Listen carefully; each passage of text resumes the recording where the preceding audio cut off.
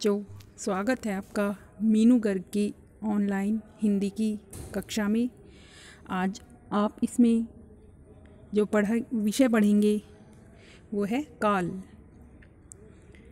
जिसको अंग्रेज़ी में टेंस भी कहते हैं। काल, हम उसे कहते हैं, जिससे हमें क्रिया के समय का पता चलता है कि क्रिया किस समय हुई है। इसकी परिभाषा देखते हैं। क्रिया के जिस रूप से उसके होने के समय का पता चलता है, उसे काल कहते हैं। जैसे ये उदाहरण है, लाल बहादुर शास्त्री भारत के प्रधानमंत्री थे। प्रणव खेल रहा है, आयुष कल आगरा जाएगा। तो इसमें हमें समय का पता चल रहा है कि वो प्रधानमंत्री थे, यानी कि भूतकाल में थे। प्रणव खेल रहा है, यानी कि वर्तमान काल में खेल रहा है। और आयुष कल आगरा जाएगा, यानी कि भविष्य काल में जाएगा। तो इनकी क्रियाओं से हमें क्रिया के समय का पता चल रहा है। तो ये काल के अंतर्गत होता है। आगे देखते हैं काल के भेद। काल के तीन भेद होते हैं। नंबर एक, वर्तमान काल। नंबर दो, भूतकाल। नंबर तीन भविष्यत काल वर्तमान काल। क्रिया के जिस रूप से उसके वर्तमान में होने का पता चलता है, उसे वर्तमान काल कहते हैं। यानी कि कार्य उस समय हो रहा है। जैसे प्रणव गाना गा रहा है, अंशु स्वेटर बुन रही है, प्रकाश गेंद खेल रहा है, श्रेया पुस्तक पढ़ रही है। तो इन वाक्यों से हमें क्रिया के पता लग रहा है कि वर्तमान काल में कार्य चल रहा है। वर्तमान काल के भेद। अब वर्तमान काल को भी तीन भागों में बांटा गया है। सामान्य वर्तमान काल, अपूर्ण वर्तमान काल और संदिग्ध वर्तमान काल। अब एक एक करके इसके बारे में पढ़ेंगे। सामान्य वर्तमान काल, जो क्रिया वर्तमान में सामान्य रूप से होती है, उसे सामान्य वर्तमान काल कहते हैं। जैसे, पंकज गाना गाता है, मैं विद्यालय जाता हूँ, वह वहाँ जाता है, गाय दूध देती है तो इन वाक्यों में जो क्रिया है वो सामान्य रूप से हो रही है। तो इसीलिए यह सामान्य वर्तमान काल कहलाएगा। अपूर्ण वर्तमान काल, जो क्रिया वर्तमान में हो रही होती है, यानी क्रिया संपन्न नहीं हुई होती, उसे अपूर्ण वर्तमान काल कहते हैं, जैसे कमल गाना गा रहा है। मतलब वो वर्तमान काल में गा रहा है, लेकिन अभी उसका गाना समाप्त नहीं हुआ है। तो ये अपूर्ण वर्तमान काल की क्रियाएँ होती हैं। मैं विद्यालय जा रहा हूँ। नेहा मंदिर में प्रार्थना कर रही है। यानी कि वो कार्य अभी चल रहा है, अपूर्ण है। तो इसलिए इसको अपूर्ण वर्तमान काल की श्रेणी में रखा जाता है। गा रहा है, जा रहा, कर रही, ये वर्तमान काल में हो रही हैं। ये अभी पूर्ण नहीं हुई हैं क्रियाएँ, इसीलिए ये अपूर्ण वर्तमान काल की क्रियाएँ हैं। आगे देखते हैं। संदिग्ध वर्तमान काल। जिस क्रिया से यह पता चले कि कार्य वर्तमान समय में हो रहा है, परंतु उसके पूर्ण होने में संदेह है, उसे संदिग्ध वर्तमान काल कहते हैं। यानी कि कार्य शुरू तो हो गया है, लेकिन अभी उसके पूरा होने में संदेह है। अभी ये नहीं पता है कि वह पूरा हुआ है कि नहीं तो उसे संदिग्ध वर्तमान काल कहते हैं। जैसे प्रणव नाश्ता कर रहा होगा अब वो कर रहा होगा, हमें ये नहीं पता है कि वो कर चुका है मतलब उसने कर लिया है कि नहीं। तो ये संदिग्ध वर्तमान काल है। नेहा पढ़ रही होगी, अंशु खाना बना रही होगी। इस प्रकार ये वाक्य संदिग्ध वर्तमान काल की श्रेणी में आते हैं। आगे देखते हैं।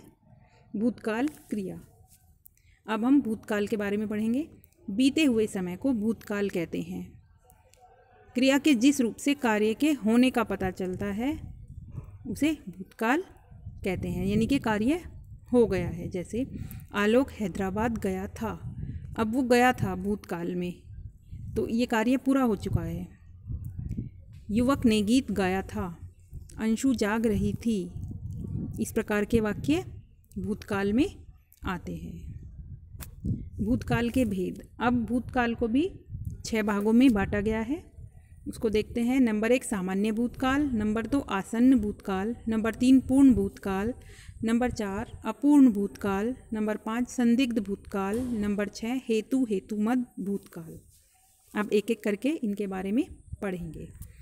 सामान्य भूतकाल। जब क्रिया सामान्य रूप से भूतकाल में होती है, उसे सामान्य भूतकाल कहते हैं। सामान्य भूत में क्रिया के भूतकाल में होने का बोध होता है। इसमें क्रिया कब पूर्ण हुई थी इसका पता नहीं चलता है। जैसे, नेहा गई, तुमने खाया, उसने पढ़ा। तो इसमें क्रिया का पता नहीं चल रहा है कि क्रिया पूरी हुई है कि नहीं। इस प्रकार ये क्रियाएँ सामान्य भूतकाल वाली होती हैं। आसन भूतकाल। आसन भूतकाल। जब क्रिया अभी अभी पूरी हुई हो, उसे आसन भूतकाल की क्रिया कह, कहते हैं।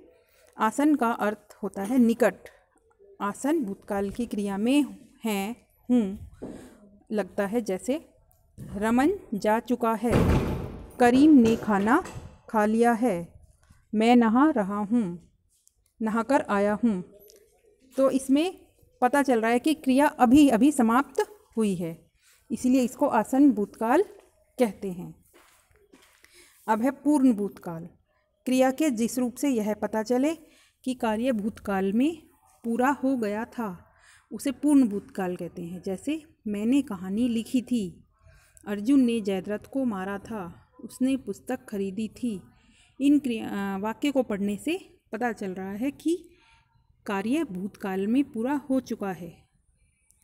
उसको पूर्ण भूतकाल कहते हैं। ये सभी कार्य समाप्त हो चुके हैं। कहानी लिखी थी मतलब लिखी थी, बहुत पहले लिखी थी, अब अब नहीं लिख रहे हैं।